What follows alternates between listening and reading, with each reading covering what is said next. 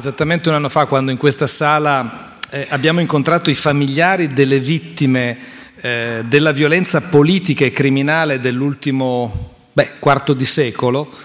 c'era un clima molto diverso da oggi. E la principale novità di questi 12 mesi è rappresentata da una persona che eh, Michele Polo ce lo potrà dire meglio, insomma era di casa e penso che è di casa da queste parti e penso che non ci sia bisogno di aggiungere altro all'identikit.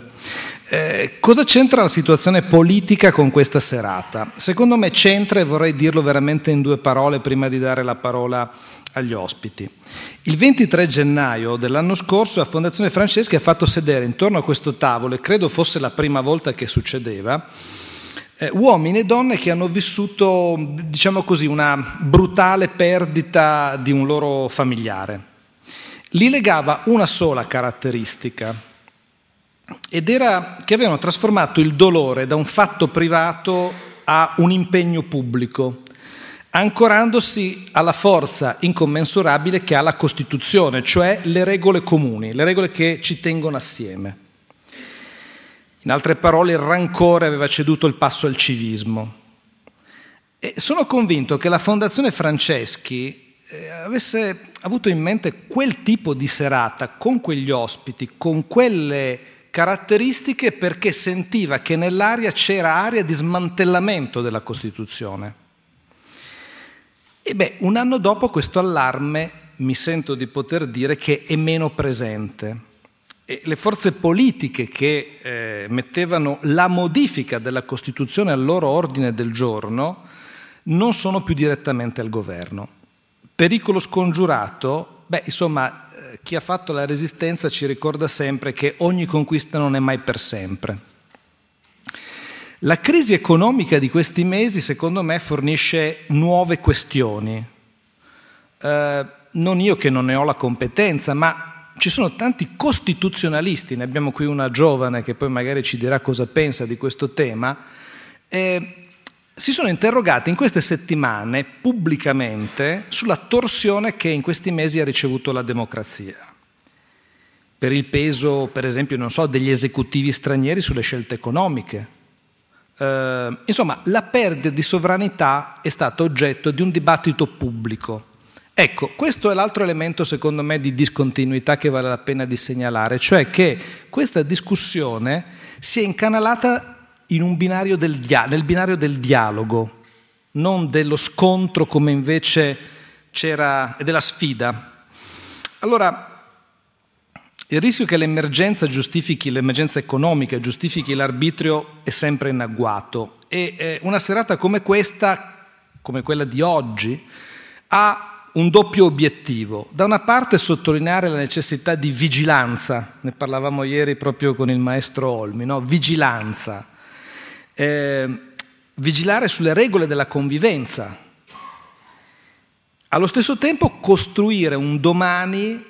senza farsi travolgere da una crisi economica che sta eh, eh, modificando i presupposti democratici che si erano creati nel dopoguerra.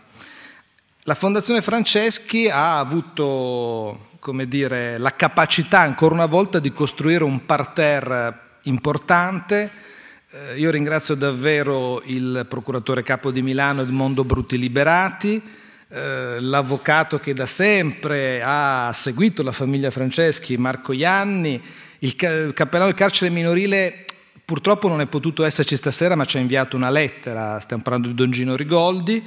Eh, una giovane costituzionalista, Deborah Migliucci, appunto con il maestro Ermanno Olmi. Allora, siccome la serata ha subito tutta una serie di cambiamenti in corsa e siccome la Fondazione Franceschi è perennemente in ebollizione, allora noi stasera dobbiamo spendere due parole per spiegare cos'è cosa, chi sono gli amici della fondazione. Allora Marco Ianni, ci, aiuti lei a capire di cosa si tratta? E certo, in un periodo difficile come quello che il paese, non solo il nostro paese, ma tutta l'Europa, e anzi forse siccome si parla solo di, di, di globalità, l'intero mondo sta attraversando, difendere gli spazi della cultura, dell'impegno, come la Fondazione eh, intitolata Roberto Franceschi fa oramai dal 1995, eh, difendere questo impegno richiede un impegno. Eh, e in questa prospettiva, in questa, con questa visione della necessità di non eh, sedersi sul, sui risultati acquisiti, sul credito di cui oramai la Fondazione gode in tutti gli ambienti della cultura, universitari, eccetera, eh, nella consapevolezza che non ci si può accontentare di quello che si è ottenuto, eh, finora la Fondazione ha avviato accanto ai suoi progetti delle iniziative come dire, di consolidamento che credo che sia giusto, eh, di cui sia giusto riferire in, in, in questa occasione. La prima è quella del, eh, che oramai ha più di un anno di vita, del comitato scientifico, eh, che raccoglie illustri professori, perché ovviamente un comitato scientifico di professori, non solo il governo, anche, anche la fondazione ha bisogno di appoggiarsi ai, ai professori, con i quali vengono, vengono elaborati progetti eh, che la fondazione di volta in volta, nei limiti delle sue capacità economiche, capacità culturali mh, sono abbondanti ma economiche molto meno, eh, porta avanti. E accanto al comitato scientifico eh, quest'anno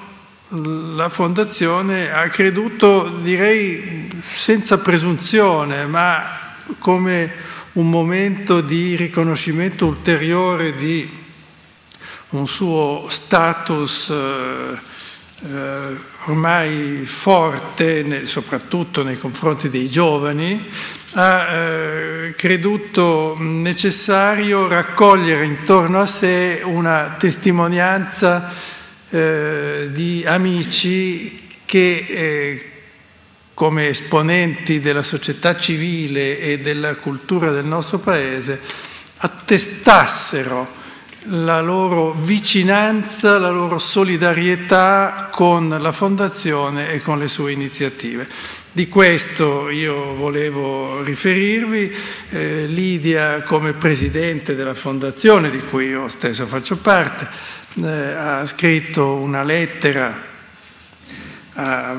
numerose personalità appunto della cultura e della società civile e eh, oggi eh, la lettera è partita da poco e oggi sono state già raccolte circa 40 adesioni e, e tra queste io